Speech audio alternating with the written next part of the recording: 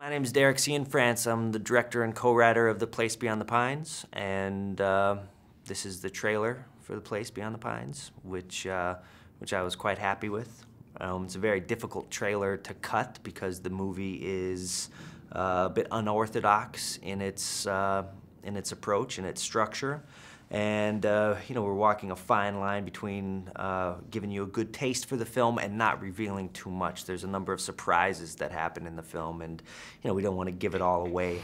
The trailer starts out with Ryan Gosling, his shirt off his angel blade, and shows him going to this of death. That's kind of our opening shot. I loved how the trailer started out that way. Is Romina here? Finds out he has a baby. Who's that guy? He's yours. Welcome to Thomas. It's from this woman, Romina. I've here over a year. Just took off. My son and I should be around him. I wasn't around my dad. Look the way I turned out. How are you gonna take care? They care have a fragile history. I can't think of another line of work that I'd rather be in. Bradley Cooper's character, Avery, you want? Just don't understand why you're doing this. I'm a cop. they're destined to collide, these two men. You got a kid, you want to provide for that kid, you got to do that using your skill set.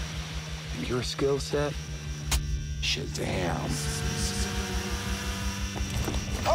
Everybody wants to live. Put your hands in the air. This crosscut to Bradley Cooper, the cop, who's kind of on his tail.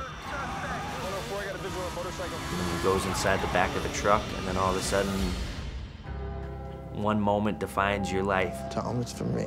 I'm still his father. I can give him stuff. And this nice Mike Patton song called Snow Angels.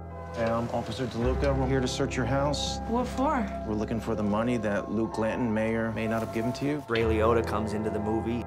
14 grand. The lion's share is going to our hero. He was my favorite actor when I was a kid. This is your problem. This is our problem, and I'm bringing it to your attention because that's what I should do. I want to do two in one day. Yo, get up! I'm not going to let you bring us both down. There's a way out of this. You're not gonna like it. It's about the effects of violent moments and the events that lead up to violent moments.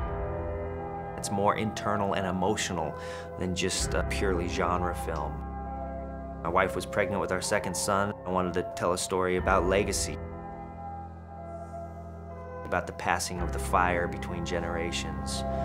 You know something, Luke? If you ride like lightning, you're to crash like thunder.